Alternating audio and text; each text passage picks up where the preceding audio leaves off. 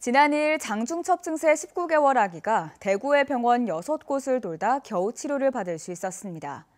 서울을 제외하고 의료 시스템이 가장 잘 갖춰졌다는 대구에서 왜 이런 일이 발생했는지 이해가 되지 않았는데요.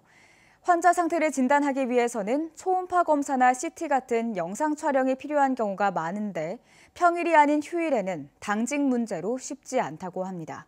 김철우 기자가 보도합니다. 지난 2일 토요일 아침 19개월 된 아기가 밤사이 혈변을 보며 복통 때문에 자지러지게 울었습니다.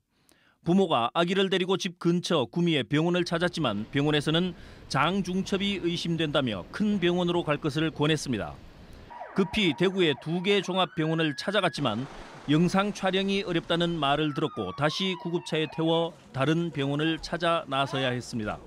초음파는 안 되고 CT는 되는데 아이가 어려서 CT가 될까요? 라는 식으로 얘기를 하시니까 아 그러면 이 병원도 안- 결국은 안 받아주겠다는 얘기구나 싶어서 알겠다고 그러고 간 거죠. 휴일 응급 의료 공백의 원인으로 의사 당직 문제가 첫손에 꼽히고 있습니다. 응급 환자를 제때 치료하기 위해서는 전문 진료 과목별로 6명의 의사가 당직 근무를 해야 하는데 현실적으로는 힘들다는 겁니다.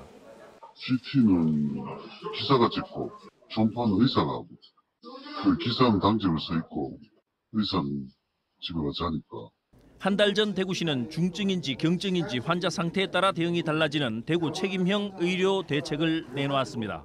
문제는 병원 진료를 받기 전까지 환자의 상태나 병명을 정확하게 알 수 없어서 대응이 쉽지 않다는 점입니다.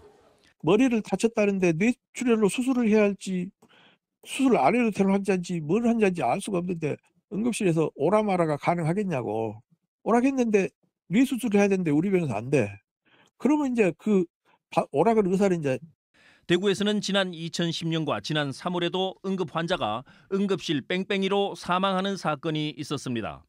응급의학 전문가들은 기존의 1339 같은 시스템을 보강해서 이송 중 기초 진단과 병원 간 전원을 원활하게 해서 처치할 수 있는 병원을 찾아 환자를 빨리 이송하는 시스템 구축이 시급하다고 조언하고 있습니다.